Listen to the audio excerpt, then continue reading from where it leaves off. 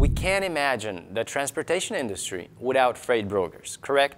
They connect shippers with carriers, helping move goods across the country and make a lot of money without taking too much risk. That's their game. But some brokers have flexible morals and won't miss a chance to scam just about anyone. And uh, if you're not carefully enough, the moment you realize you're being scammed by a dishonest broker would be the moment that is too late. But if you have been in the trucking business long enough, chances are that fraudulent brokers have taken or at least tried to take your money. How much time and energy should you invest in chasing the unpaid bill? Could you have seen the red flags before you got this headache? Sure, sometimes the customer is just uh, slow to pay, while the other times they may be taking advantage of the fact that uh, you don't have a big office team dedicated to collect these bills. And still, sometimes the broker is a fraud and your money is long gone. In this lesson, we will shed the light on the topic of dishonest brokers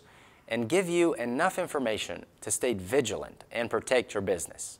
Dishonest, or to put it bluntly, fraudulent brokerage involves brokers who don't know what they're supposed to do or try to cheat the system for their own benefit. Instead of honestly fulfilling their responsibilities, they use their intermediary position to deceive others from their own personal gain.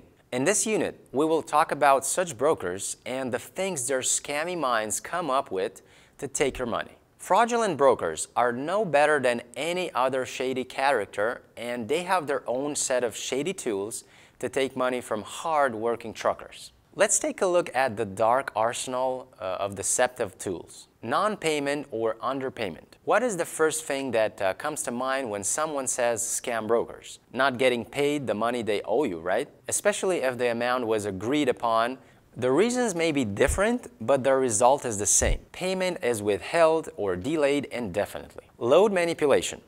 They don't even have to see the load to manipulate it, but they can misrepresent it or manipulate the details of the load to rip off truckers. Their goal is to shove the load they have on a trucker, even though they know the load is a question may exceed the capacity of uh, their vehicle or require special equipment or permits. They just want to get their money and don't really care about what's going to happen to the load.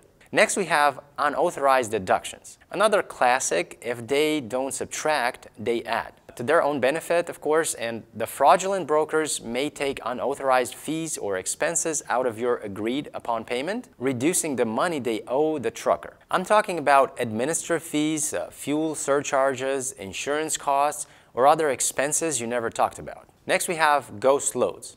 Nothing paranormal here, just uh, maybe an unnatural desire to keep scamming. Brokers post loads that don't exist, luring truckers to a specific location for pickup, but there's no load. Why would anyone want to do that in the first place? Because dishonest brokers may use this tactic to, uh, to promote their service, uh, manipulate rates, uh, lure unsuspected uh, individuals into sharing sensitive information, or even gathering information on truck uh, capacity, and so on. Next, we have false documentation. And the story would not be complete without a good old document falsification and forgery. Bills of lading, uh, proofs of delivery. Fraudulent brokers can use any document to deceive truckers and withhold payment or deny completion of the job. It's impossible to note that while these fraudulent practices can occur the majority of uh, freight brokers are legitimate and value their relationship with truckers. To reduce the risk of uh, being defrauded,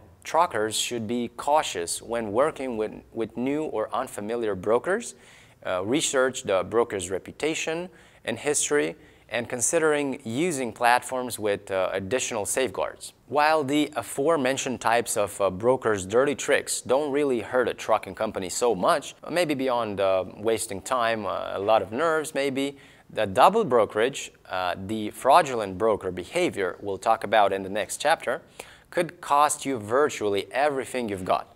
Your time, your load, your contract, or even your business and whatnot. Double brokerage.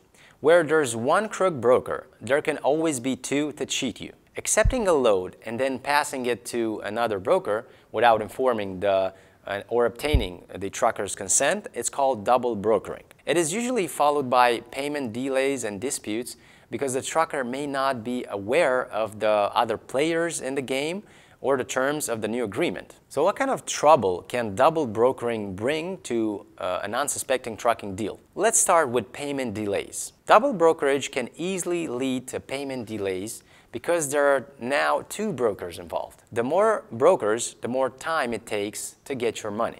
Basically, it's one of the universal laws of trucking. But that delay could be just the first of a trucker's problems because it triggers the avalanche of financial difficulties by crippling their cash flow. Of course, a large company probably won't even notice, but a small carrier can be really hit hard. Communication breakdown. Now, the more the merrier when it comes to uh, getting a clear picture of who you are working with as a carrier. Uh, there may be a confusion in delivery instructions, uh, changes in the pickup and delivery locations, and so on. Are you sure you can do your job on a level playing field when the goalposts uh, keep moving? Next, we have disputes and liability. And the brokers involved are constantly fighting over payment and delivery discrepancies. And if there is any incident during the trip, there's another reason to pick a fight liability. Uh, no one wants to pay anyone, uh, so expect a lot of uh, backchat. This is just one way uh, scammers can set up a dual brokerage scheme. They start by buying a carrier MC and reporting to the FMCSA that they have a truck. Then they pose as an owner-operator or trucking companies to get loads from brokers. When they have loads, uh, they book them with a real carrier using a broker's MC. Sometimes they can even pay the carrier they uh, book the load with, uh, but more often than not, they couldn't care less about paying. As a result, the carrier goes after the shipper or the real broker to whom the load was assigned. So, broker 1 sold the load to a carrier for $4,000, who turned out to be a double broker. Carriers can sell loads on load boards in order to make it happen. They have another uh, broker MC, and using the broker MC, they can do whatever they want. So the carrier, which is a broker as well, puts the load back on the load board with $5,000 under his broker MC. Let's call this guy the double broker. So the double broker uh, sold the load to another carrier and this carrier fulfilled the load. Now, carrier invoices uh, the double broker to pay for the shipment. The double broker invoices broker 1, and the broker invoices the customer, or if uh, already has money for the shipment pays. Broker 1 pays the money to the double broker, and the double broker decides that he doesn't want to pay the carrier and simply flies out uh, never answering calls again. Litigation begins because carrier uh, did not receive this uh, uh money due to an intermediary in the uh, person of the double broker who turned out to be tricky in his chain and entered the deal in order to pull off an act of fraud. Don't think uh, there are only scammers out there. Most freight brokers operate ethically, but broker scams and double brokerage have been a major problem for truckers for some time. To navigate the industry more safely and reduce the risks associated with uh, broker fraud, truckers need to better understand the concept of double brokerage and use their knowledge to be proactive. So in this unit, we are going to talk about what it means for your business to be defrauded. You may be thinking, what do you mean? We're talking about my money. What else is there? Sure, you're right about that, but the money you lose means something more to your business. Let's talk about how fraud, brokerage, and uh, scams in general affect the operation of your trucking business. Fraud can affect your finances, uh, the smooth flow of your business, your company's reputation, and even your, your entire business. The first and most obvious negative effect of fraud is financial loss. Dishonest brokers don't pay on time uh, or at all the money your company was planning to receive and uh, pay for fuel maintenance, wages, or to invest in your business, etc., it disappears into thin air, leaving you scrambling for dollars to keep the business afloat. The lack of money could lead to operational disruptions that eat up a significant amount of your valuable time and resources. It takes a lot of time and effort to chase down unpaid invoices, resolve disputes, and pursue legal action. Some scammers uh, simply hope that you'll give up on them and just leave it uh, with their money. The time loss can translate into inefficiencies, missed opportunities, and added stress. If you think that fraudulent brokers uh, are the bad guys in this scenario and that they deserve a bad reputation and a negative review that you can give to them, you're absolutely right. But as a result of working uh, with these shady characters, the reputations of carriers and owner-operators can be tarnished as well. If you are involved in a fraudulent transaction, even if you are a victim, word would spread out and the other players in the game, such as uh, brokers, shippers, would have hard time trusting you again. This can make your business life a, a lot harder because it would make it difficult for your company to get new business. I don't have to tell you uh, what uh, it means for the future of your business, and you certainly don't want to know what it could be mean for you. Another downside of uh, fighting over fraud is that it poisons your relationship with the carriers, brokers, and shippers involved. I'm not talking about these uh, fraudsters. Obviously, I'm talking about everyone else caught up in the middle. Basically, your entire business network could go down in flames, undermined by scammers. And yes, lawsuits and uh, costs, let's not forget those. If you decide to go to court to collect your unpaid fees or seek damages to be prepared, then be prepared for a long battle and uh, legal fees that can add to your financial burden. The last thing I want to talk to you about is that the emotional and mental stress. I know we're all tough, uh, rugged truckers, and we can drive the truck for a legal amount of time and not even break a sweat. But we're all still human, and mental health is important to us when we're here for the long haul. The frustration, uh, disappointment, and sense of injustice that comes from being ripped off can take a toll on their well-being and overall morale. A good example of non-payment is what happened with the following carrier. He took a load from Salt Lake City, Utah to Chicago, a pretty long run that promised to pay uh, about 3500 a decent pay considering the pickup from uh, West. The broker was responsive uh, throughout the entire load process up to the POD receival. However, after the receiving a receival of the carrier's invoice, things started to look suspicious. The email system showed that the broker wasn't even opening emails with the invoice or follow-ups from the carrier. Factoring couldn't help either because they had a recourse agreement with the carrier. They also mentioned that the broker is not responsive and doesn't provide any payment status.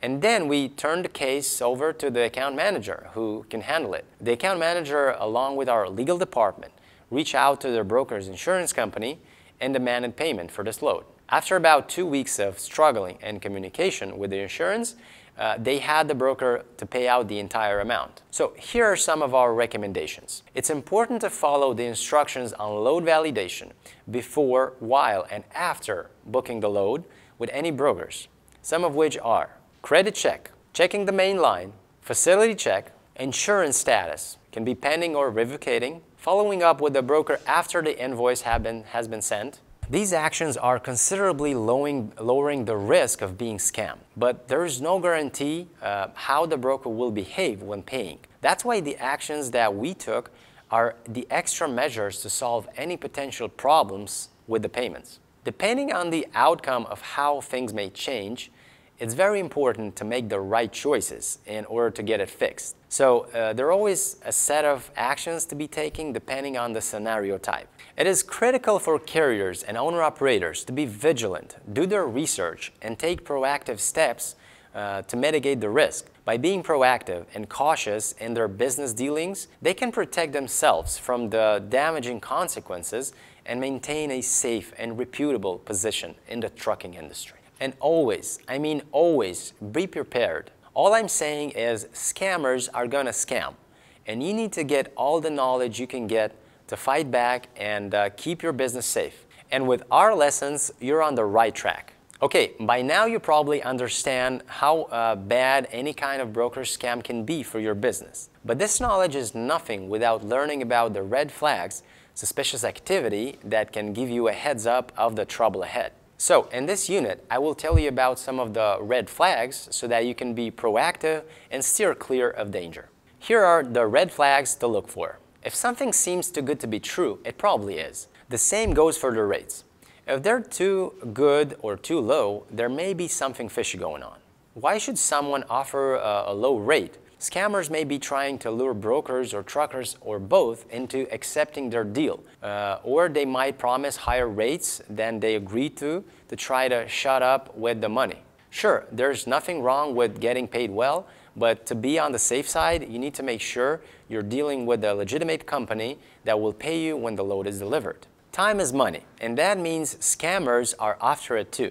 Sure, they don't need your minutes and hours, but they can use your time and, tr and, try to turn it into their advantage. Next, pay attention to the paperwork you receive. Scammers may pose as a representative of a legitimate company, and their documents may look legitimate. The problem is that uh, there could be the same company name, but different addresses, and you won't know it. Usually, legitimate brokers use their own domain email service and if their email address is at gmail.com, it looks a little bit sketchy. If a broker's contact information, such as uh, phone numbers or address, uh, cannot be verified or lit to none, uh, it raises suspicions of fraudulent activity. Also look for inconsistencies or changes in paperwork, such as inaccurate cargo information, altered contracts, or suspicious amendments. You won't see these things in the accurate and consistent documentation of legitimate brokers. Another is when a carrier communicates with a broker who is vague about an important load detail, such as a shipper's identity, uh, delivery schedules, or payment terms. The smoke and mirrors raise suspicions about the broker's intentions and may mean they're hiding critical information. Fraudulent brokers may also rush you by creating a sense of urgency they're hoping you'll miss something, uh, not do your research, and make your decision in a hurry, timely manner. Uh, sure, it could be a broker with really bad time management, but this never hurts to double check and be on the safe side. If a broker requests payment through an unconventional method, such as wire transfer to personal accounts or untraceable online platforms, it may be a bad sign as well. These requests may be an attempt to circumvent secure and traceable payment channels. Why should you be concerned? Because it may be a scam, so be aware. Let's take a quick look of uh, some of the obvious red flags. Just because they're uh, obvious doesn't mean you don't need to pay attention. Multiple identity changes. A broker operates under different names, allies, uh, or company identities, making it uh, difficult to establish a consistent identity. And this behavior raises concerns about the broker's credibility and suggests potential fraudulent practices. Lack of proper licensing or certification. A carrier discovers that a broker is considering working with and does not have the necessary license or certifications required by regulations, and this lack of proper credential is a red flag indicating a potential fraudulent behavior. A negative reputation of reviews. Carriers may encounter negative reviews or warnings from other industries professionals regarding a, a particular broker's payment practices, contract violations, or dishonest dealings. Uh, these real-life experiences and testimonials serve as a valuable insight and indicators of potential fraud. Late or non-payment at all, a carrier completes a delivery but experiences repeated delays in receiving payment from the brokers. Despite submitting invoices and following up, the broker continually makes excuses or fails to pay altogether. This situation suggests potential fraud as the broker is intentionally withholding payment or exhibiting a, pat a pattern of non-payment. Remember, these red flags don't necessarily guarantee fraudulent brokerage, but you should be raising concerns and prop promptly further investigation. Uh, being aware of these red flags allows carriers and owner-operators to be cautious and take the necessary steps when dealing with brokers.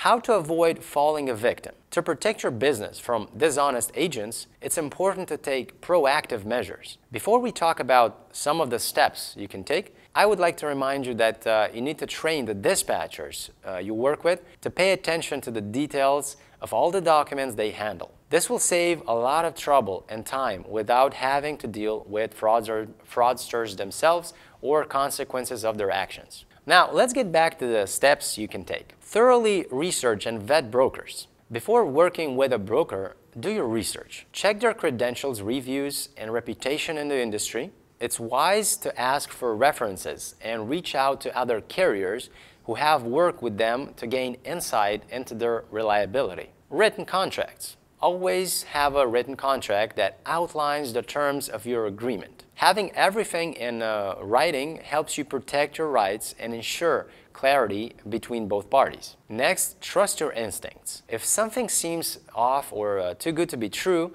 trust your instincts. If a broker makes promises that seem unrealistic or avoids your uh, questions, it could always be a red flag. Get legal advice. If you can find yourself dealing with a dishonest broker who refuses to pay or engages in fraudulent practices, consult with an attorney who specializes in uh, transportation law. Now, what do you do if you got scammed? Stay informed and educated. Check relevant websites and platforms that monitor the rate uh, of uh, freight brokers, shippers, and receivers, such as uh, freight checkers. If a broker's license is revoked or uh, they file for bankruptcy, this information will be posted there and on the FMCSA as well, or Broker Snapshot. Contact the involved parties. Reach out to the both broker, uh, brokers involved in the double broker situation, clearly explain the situation, and ask for an explanation. Keep in mind that you should check the payment status within five days after delivery because if the original broker pays the scammy one,